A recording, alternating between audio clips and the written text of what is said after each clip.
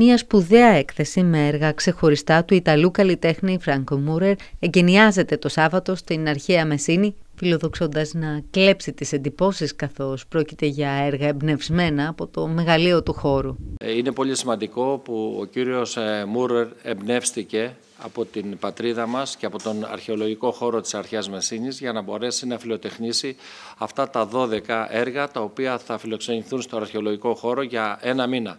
Η έκθεση που φιλοξενείται στην Αρχαία Μεσίνη έχει τίτλο «Οι αρχαίες πέτρες» και σε παρένθεση «Ιστία στην Αρχαία Μεσίνη».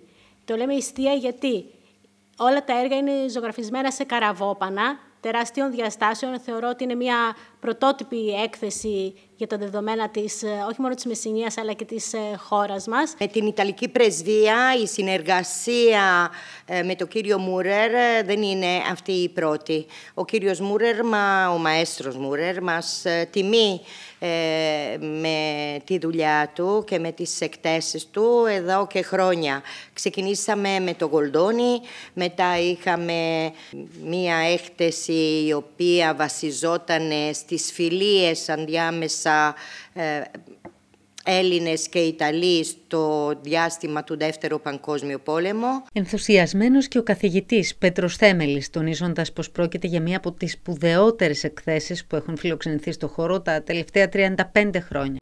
Σε έχουμε στήσει σε ένα δρόμο αρχαίο απέναντι από το Ασκληπείο.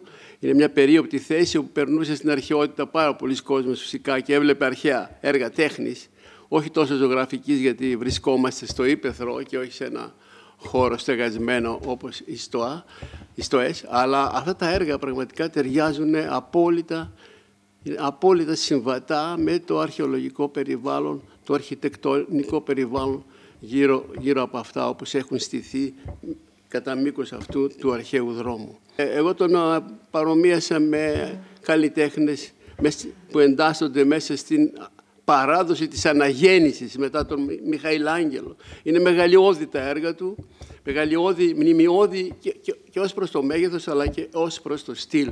Devo dire che la cosa che mi ha sorpreso di più è... Ευχαριστώ πάρα πολύ και είμαι τιμή μου, που είναι τιμή μου που είμαι στην Ιθόμη και για αυτή της συνεργασία και το χαμόγελο και την ε, θυμιότητα που φαίνεται ε, του κύριο Θέμελη που συνάντησα εχθές με εντυπωσιάσανε πάρα πολύ. 2016 πρώτη φορά ε, μαζί με τη Μαργαρίτα Μποβισέλη ε, πήγα, επισκέφτηκα την Ιθόμη και μερικές φορές ε, συμβαίνουν τα πράγματα και δεν ξέρουμε πώς συμβαίνουν, αλλά αυτή τη φορά όντως έγινε ένα όνειρο, έγινε πραγματικότητα.